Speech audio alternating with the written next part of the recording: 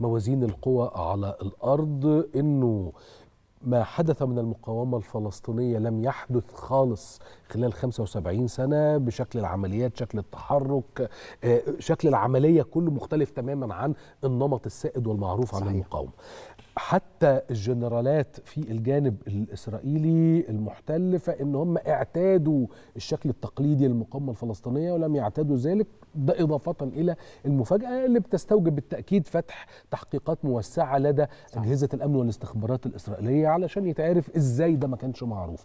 وأنا من أنصار إنه حتى يحققوا هناك في أمريكا على نفس الموضوع يعني إزاي الأمريكان ما عرفوش وما بلغوش أصحابهم. لكن حتى إذا حصل حكومة من الجنرالات وحاولوا إدارة حرب توحش ضد الجانب الفلسطيني. ما هو عمليا هو خبرته مهما كانت مكتسبة خلال عمليات سابقة هو ما يعرفش طريقة التحرك الجديدة. وعلى ما يبدو أن الفلسطينيين مستعدين للمزيد من المفاجآت. وبالتالي إلى أي مدى قد يطول أمد الحرب؟ وهيبقى شكلها عامل إزاي؟ شوف حضرتك هو على مستوى الطرفين سياده النائب في بنك أهداف. بنك أهداف عسكرية واستراتيجية. إن أنا وأنا داخل المواجهة عارف حدودي إيه وأقصاها إيه. بحط ترجيح وبعمل تقدير موقف عسكري واستراتيجي وأحط سيناريوهات وأحط وزن نسبي لكل سيناريو. ده باء أي مواجهة. الجديد فيه إنه حركة حماس هي من تدير. في المواجهتين السابقتين كانت الجهاد. آه. حماس بتعمل ده تسترد شعبيتها في قطاع غزة. عايزة تبقى بديل لفتح. عايزة أمور كتيرة جدا بتطرح نفسها كقوة رئيسة في آه، التطور اللي حاصل جوه الحركة يفصل لحضرتك العسكري يستبق السياسي في صراع وتجاذبات مفيش داعي إن إحنا نتكلم فيها دلوقتي داخل الحركة على الأولويات والمهام والعلاقات في الإقليم وكده. الجزء الثاني هو مرتبط بالفصائل الأخرى. ما مش حماس بس بالمناسبة هي ده أنت عندك كل الفصائل المقاومة في عندي كلها. 14 فصيل. والفصائل كلها زي ما حضرتك بتقول كلها بتشتغل وكلها في تنسيق آه طبعا. بالتالي بيتم ده. لكن الهدف واحد.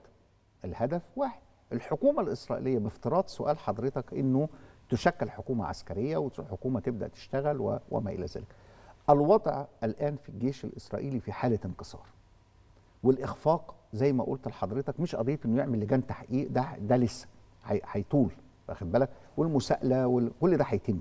يعني إسرائيل فيها قدر كبير جدا في التعامل بجديه في ده وحصل في كتير كتير من المواقف. الأهم بالنسبة لنا هل المعادلة صفرية؟ يعني إيه معادلة صفرية؟ يعني لو حضرتك دخلت القطاع وعملت الخيار صفر وحرس الأرض كلها القطاع هيروح فين؟ وسكانه هيروحوا فين؟ هل في ترانسفير؟ هل ممكن يبقى في ترحيل؟ هيتجهوا لفين؟ الموقف الدولي اللي انت سيادتك قاعد بتتكلم فيه أمريكا في ساعات الجاية هيبقى في مجلس أمن وفي اجتماع لمجلس أمن وفي مداولات والجامعة العربية بالمناسبة احتمال يكون في لقاء في القاهرة. فأنت بتتحرك على مستويات متعددة. هل ده يوقف ما يتم؟ لا. إسرائيل ممكن تتبع الخير شمشون وتتعامل بهذا المنطق وبالتالي حماس هتخرج كل أولوياتها العسكرية في هذا التوقيت.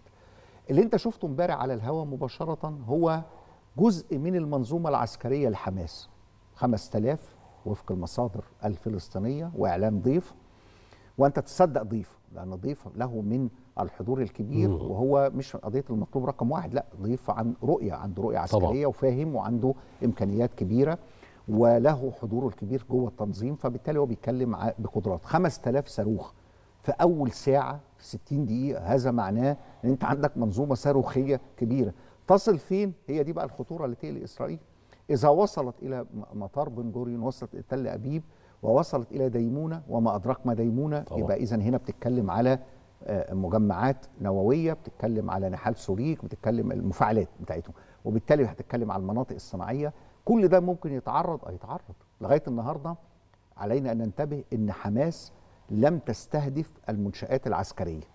لم تست... لم تستهدف القواعد العسكرية اللي فيها أمريكان دلوقتي في مناطق شمال نهاريا والمناطق وسط وشمال الع... آه، تل أبيب تل الربيع. وجزء من كل ده هل ده منضبط؟ آه. لو أنا بقيم بقى عسكري هقول لحضرتك سلوك حماس العسكري منضبط. ما وقعوش ضحايا من الجانب الآخر لأنه لو في ضحية واحدة أصيبت كان هيطلع الميديا الإسرائيلية كانت هتطلع وتقول. الحرفية والمهنية العظيمة اللي قامت بها المقاومة هي رسالة واحدة. أنا بحارب على أرض فلسطين التاريخية. صح. فلسطين التاريخية. طبقاً مفيش بقى من. النار للبحر آه. أنا بتكلم على أرضي. فدخلت انكسر الحاجز. اذا في تطورات نوعية وتكتيكية خطيرة بتعامل معاها.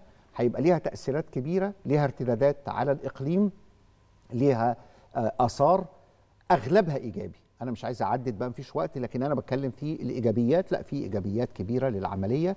زي ما بقول بس فقط نتمنى ان إحنا السلامة للشعب الفلسطيني في قطاع غزة. مهم جدا نحظى بدعم عربي ودعم مصري. مصر هي الظهير الامن الفلسطيني. مصر صح وخرج 100% شهادتنا مجروحة لبلدنا لكن إحنا نقول مصر والقيادة السياسية وأجهزة الدولة المصرية هي اللي واقفة في هذا التوقيت بجوار حماس. أعتقد أبو مازن تفهم هذا وفي رسائل متصلة وفي اتصالات طبعا لحماية وتأمين الشعب الفلسطيني.